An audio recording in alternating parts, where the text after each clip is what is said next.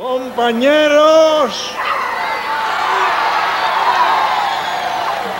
y compatriotas. Yo apruebo de esa tesis de Rafael Hernández Colón. No tiene nada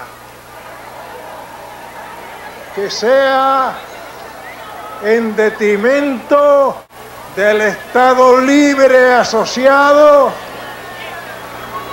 no contiene nada que sea en detrimento de la unión permanente con los Estados Unidos de América.